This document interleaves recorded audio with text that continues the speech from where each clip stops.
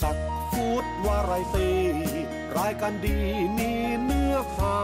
มีกลเม็ดเด็ดแปลกตาตำรับแรกที่นำมาฝากคุณผู้ชมเป็นขนมปังแบบฝรั่ง เนื้อขนมปังเป็นฝรั่งฝรั่ง แต่ไส้สิเป็นไทยเข้าปากนะอร่อยแบบไม่รู้ลืมเลยแหละ กับขนมปังไส้มัสมั่นเนื้อ เริ่มต้นวันนี้ใช้ Danish Butter Le Pack กลิ่นจะได้หอมๆเสร็จแล้ว เราก็ผัดกับหอมใหญ่ หั่นเป็นชิ้นๆ จะได้หอมซะก่อน ไม่พอแค่นี้ไม่พอไม่หอม จะต้องเพิ่มเครื่องแกงมัสมั่น two in one ปลาโลโบแสดงว่าในนี้มีกะทิเสร็จเรียบร้อย ไม่ต้องไปดิ้นรนเลย ครบในหนึ่งซองอุ้ยตายแล้วน้ำมันมัสมั่นออกมาเรียบร้อยเลยโอ้ยกลิ่นมัสมั่นหอมมาก เจอเนยสดดีๆ คุณภาพดีๆเดนิชบัตเตอร์แบบนี้ กับหอมจะเข้ากันนะคุณผู้ชมอู้นี่หมดแล้วทั้งซอง สร็จแล้วก็จัดการผัดให้เข้ากัน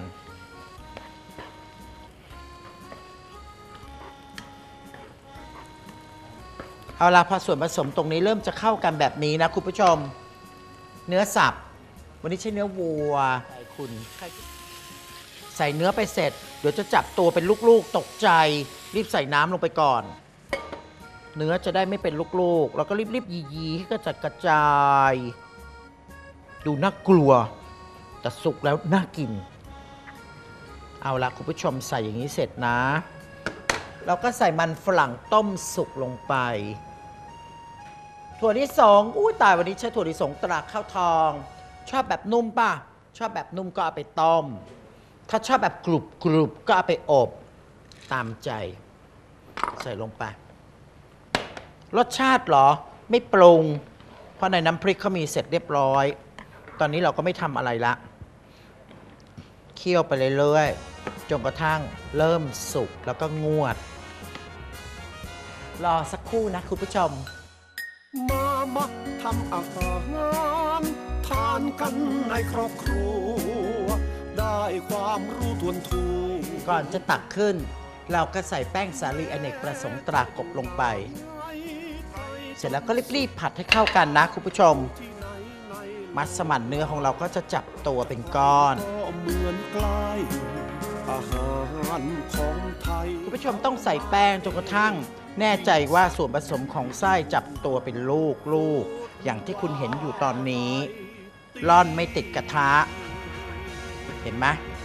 ทรงอยู่ตัวแบบนี้ถึงจะบรรจุลงไปในขนมปังของเราได้นะครับเอาละปิดไฟ พักส่วนผสมนี้ไว้จนกระทั่งเย็นในระหว่างที่เรารอให้ส่วนผสมไส้มัสมั่นเนื้อเย็น เราเตรียมแป้งขนมปังกันนะครับ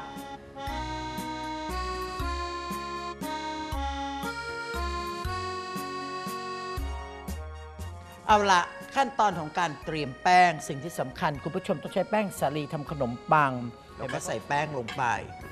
พอใส่แป้งเสร็จ ดูสิ เราต้องใช้ยีสต์วันนี้ก็ใช้ Instant ของซาฟคุณผู้ชมยีสต์เขาเรียกกันตรานกตรานกเขาเรียกกันทั่วเมืองไทยLesaffre ใช้ยีสต์ตัวนี้ใส่ลงไป เสร็จแล้วตามด้วยนมผง milk powder เกลือป่น salt นิดหนึ่ง ใส่ไข่ไก่ลงไปหนึ่งฟอง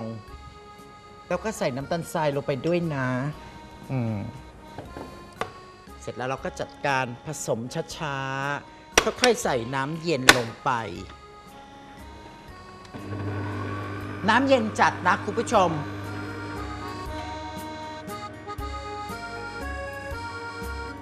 กันเขาบอกว่าการทำขนมปัง เทคนิคที่สำคัญคือใส่ไขมันเป็นอย่างสุดท้าย เราจะใช้ Danish butter Lurpak ใส่ลงไป เอาละเอาพอแบบนี้เสร็จปุ๊บ เราก็ใส่ Danish butter Lurpak ลงไปเลย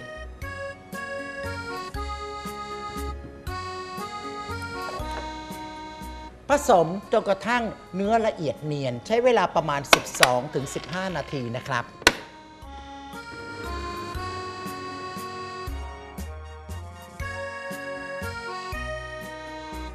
เมื่อได้แป้งเสร็จเรียบร้อยเนื้อละเอียดเนียนแบบนี้ก็พักไว้สัก 15 นาทีนะคุณผู้ชม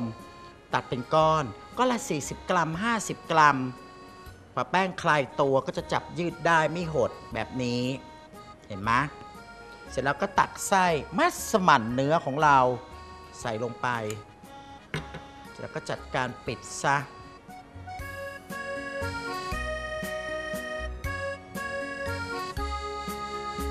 บีบให้สนิท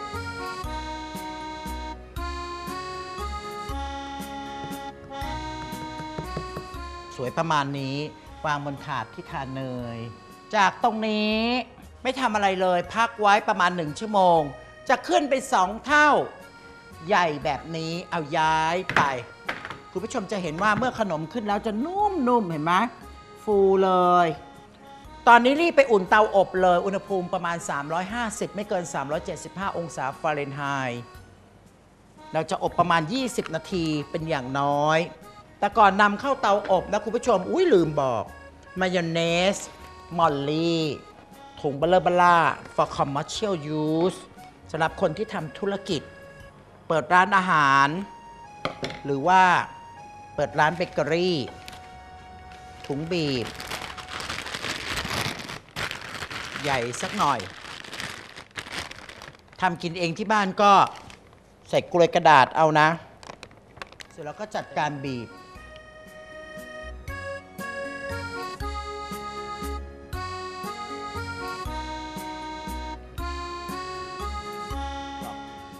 แค่นี้นำเข้าเตาอบ เดี๋ยวแป๊บหนึ่งคุณผู้ชมดูแล้วกันว่าหน้าตามันจะน่ารับประทานไหมนะครับ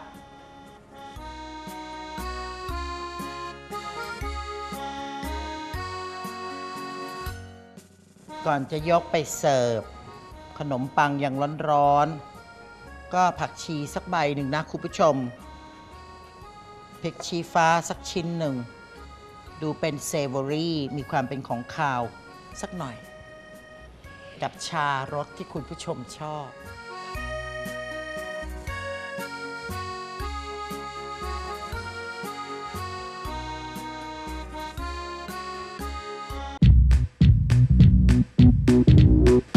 ประสบการณ์ที่มากกว่า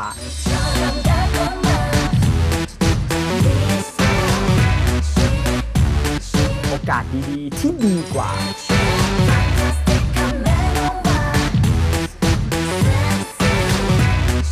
เปิดแล้ววันนี้โรงเรียนธุรกิจการอาหารไทยและนานาชาติ รับสมัครนักศึกษาระดับ ปวช และหลักสูตรระยะสั้น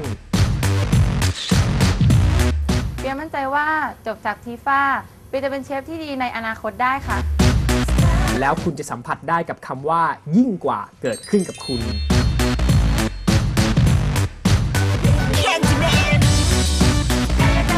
รายละเอียดเพิ่มเติม สาขากรุงเทพ 02-682-7644 สาขาเชียงใหม่ 053-412-378-9 และ w w w